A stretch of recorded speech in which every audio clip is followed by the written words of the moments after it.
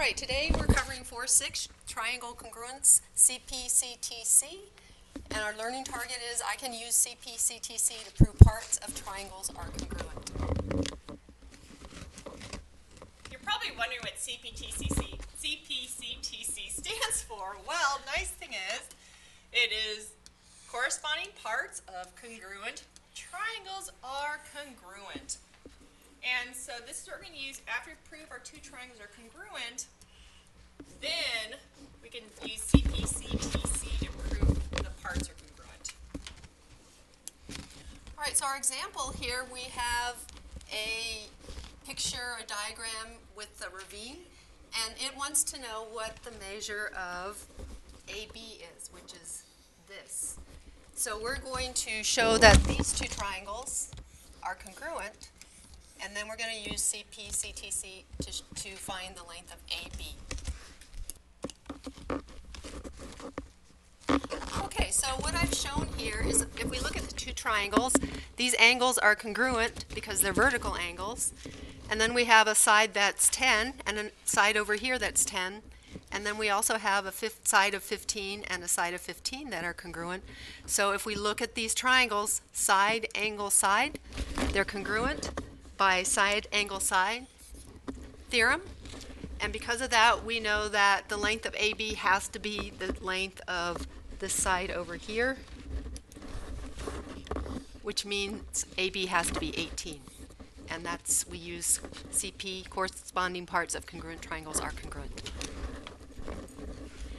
Remember, you have to use one of the triangle congruence theorems first before you can use CP-CTC. So if you haven't used one of these, you cannot use CP-CTC. Just remember that.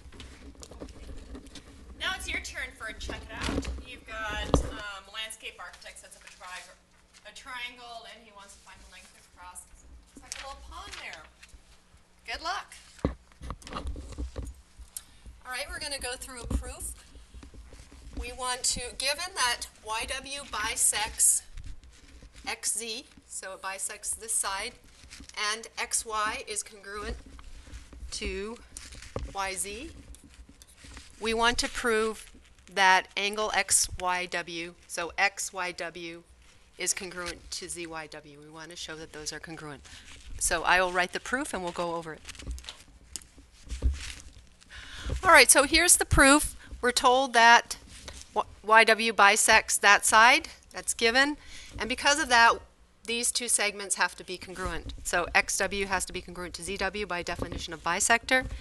We're also given that XY is congruent to YZ, and then YW is congruent to YW, reflexive property of congruence. Hopefully, we know that by now. And now we've shown that all three sides are congruent. Forgot to put my marks up here. And so the triangles are congruent by side, side, side. And once we know that, we know corresponding parts of congruent, congruent triangles are congruent. So angle XYW has to be congruent to angle ZYW because those are corresponding angles. And now it's your turn. So again, remember to mark up your diagram with what you're given.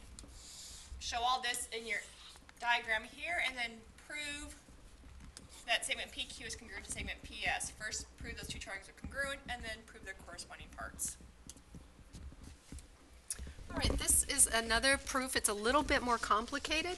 Um, it does have parallel lines in here. So we're told that NO is parallel to MP and angle N is congruent to angle P. And we want to show that these two lines, MN is parallel to OP. So we want to show that these two lines are parallel. So we're going to show the triangles are congruent, and then by using the angles, we're going to be able to use a converse theorem to show that those lines are parallel. So this is what we're given. Because of that, NMO or NOM, this angle is congruent to this. Remember, that's those are alternate interior angles. We know MO is congruent to MO. That's this line. That's reflexive. And now we have two angles and a side that are congruent in the two triangles, so those triangles are congruent by angle, angle, side. Because of that, NMO, which is this angle, is congruent to POM, which is this angle. Notice these are alternate interior angles to these two lines, and by the converse of alternate interior angles theorem, we know that MN is parallel to OP. And here's your check it out. Given J's midpoint of segment KM and NL, prove that K segment KL is parallel to segment MN. Again, prove triangles are congruent first, and we're gonna be using a converse again in order to talk about parallel lines in there. All right, we're actually going to prove something using the coordinate plane. We want to prove that two triangles are congruent, and they're the triangles given by these coordinates. So what I'm going to do is draw those triangles, and we can't find angles on the coordinate plane, but we can find side lengths, so we're going to be showing that all sides are congruent and proving they're congruent by um, side, side, side, and then CPCTC will show you that those angles are congruent.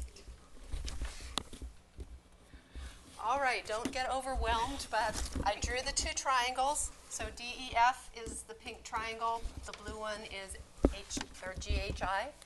So I took each of the sides, used the distance formula, here it is as a reminder, plugged in my x1, x2, y1, y2, and these are the side lengths I got. And I did the same for GHI.